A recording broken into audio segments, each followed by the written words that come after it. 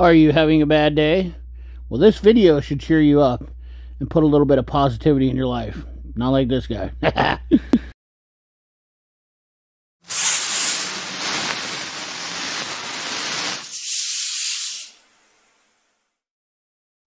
Oh, oh, oh, oh, what up, guys? CP the Tool Addict. Woo! yes, yes, the old. Let's take a moment of silence for the old girl. This is what originally started the channel, kind of. Uh, this is what inspired me to do YouTube, was the U.S. General custom card I made. And of course, after I did this, several other people started replicating this. Uh, clear, and clear up into the point to where even they've done them with two U.S. generals on top of each other. So, uh, and if you don't believe me, you can look at the dates on the video once again, you can't replicate the dates on YouTube. Once they're stamped, they're stamped. But, uh, yeah, I have a side shelf. You know, I have the paint can holder, the U.S. General. And obviously the topic of this video is custom tool boxes. Now, I've got a couple of buddies, and I've accumulated these um, pictures for quite some time. And I want to talk about why you sometimes don't need to buy a new toolbox why you can just get by with what you're doing. Now, I did this for a reason. Because I wanted to, A, uh, try Harbor Freight again. Everybody had been talking about the U.S. General cart. They were so cheap. They were so attractive. I had to try it. Now, I put custom bumpers on here. As you see, I bought all this stuff, and there's a video out there. I will put a link to it in the description. Uh, it's one of my top videos, one of my top 10 videos uh, on my bit channel. I think it has like 30 some thousand views on it. But I'll put a video. It's pretty boring uh, as far as how I talk and everything. I was new to YouTube. It's just, that's how it works on YouTube when you first start. You're nervous, blah, blah, blah. Anyways, long story short, I wanted to fully customize this thing for a budget. And I had three, I gave myself $400. I ended up doing this for 375 bucks. Now, granted, once again, this was three years ago. So obviously inflation's happened. I'm probably guessing you'd probably take you five, five fifty maybe to do it now, which is you know it is what it is. But I digress. Let's get into some of the other boxes. Oh, and just to get acquainted, uh, if you don't know, these are my toolboxes. I have a Cornwell, the Mac, Macsimizer, uh, not that one, and the Jesse James. These are my, or uh, not the Jesse James, this clear coat brush steel one. these are my toolboxes now. Now let's talk about custom ones since I just passed this one up. But this is an old Matco cart and he's put some wrap on. He's actually put stickers or some sort of wrap. Maybe it's comic book stickers and then on a Matco box, which that's irrelevant. But he's customized this one over here in the corner is really what's cool. Painted the handles, painted the drawers, customized it, made it nice. Uh, very cool. Um, this one was quite a while ago a buddy of mine did that he sent this to me. He says, "Hey man," and these people used to send me pictures of their custom stuff all the time, and it was really cool. You can even and, and you can obviously buy custom toolboxes. My whole point of that was is to show you my stuff was is that you know they had back in the day custom toolboxes like this. These are one of the first ones where they started doing when Jesse James was with West Coast Choppers, and you could buy limited edition custom boxes.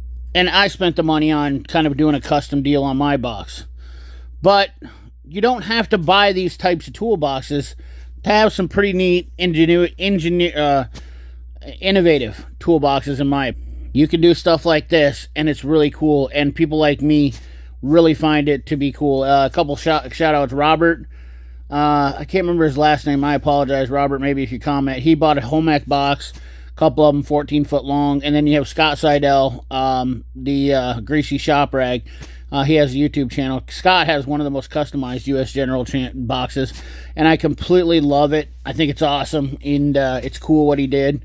He's made some really cool modifications to it. Uh, of course, you could buy stuff like this at garage sales, which I know this is a brand name. We're getting into the good stuff. Trust me, you're going to want to keep watching because there's some pretty cool custom boxes coming up. But you can buy some of this stuff at a garage sale. My buddy bought this for $100 at a garage sale. Uh, another buddy of mine has this in his garage. I thought it was neat because he took a cabinet, laid some pegboard in it, and has this as a little deal. I was like, oh, that's kind of neat. I like this stuff. This is what really, uh, it's a conversation piece amongst anything else. but it's also really cool because this is all he needed for him. Uh, he needed for him and his wife to do some stuff in the house, and that's what he had.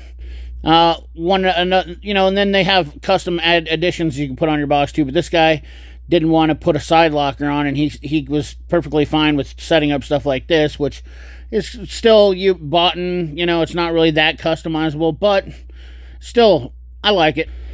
Then I had a buddy who's a welder, and he wanted a toolbox and a table combo, so he made this.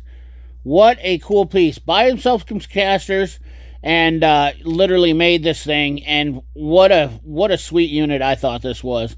Very well built, very cool. He's got a shelf, he's got his toolboxes, he's got a big table on the casters, all locking, all swivel.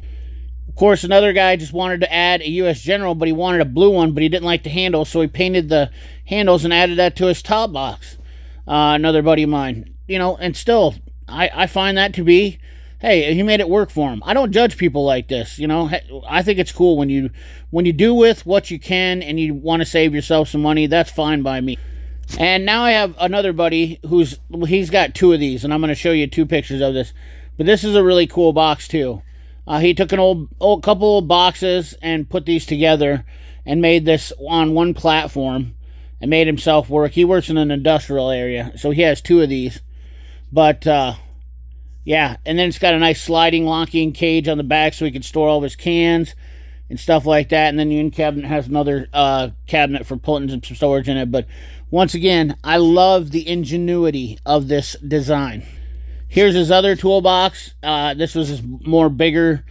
This is the bigger one he had for a lot of his tools. You can see he has it labeled. I don't know if I can zoom it in far enough there, but he had wrenches, screwdrivers, all everything. And I thought this was really cool. Old wire at Waterloo. In fact, that top box right there uh, is the first Waterloo. That's the first type of Waterloo toolbox that I own. Uh, first bigger. Uh, my first one is a professional. I own the Craftsman first. Actually, my first one was an ammo can, which you'll see in that picture. I'll show you in that clear coat. But uh, I still like it. This is cool. Look at the frame. Heavy duty, big casters. Even's got a lock stop. Uh, he's got powered, but he's got a creeper holder here on the side. There's your, there's a stop on the foot piece right there. But uh, it's the creeper holder. He has all sorts of holders in the back there. He's even got power supplied to it. And uh, he's even got a big pry bar holder.